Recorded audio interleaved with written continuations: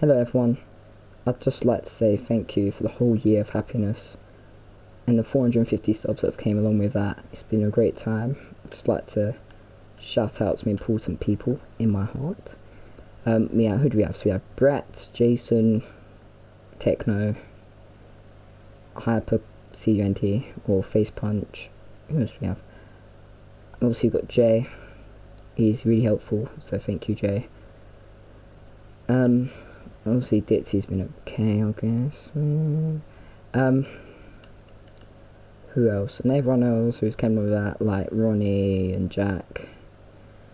And all them people, you know who you are. So thanks a lot for all of it. And let's bring another good year of content. Goodbye.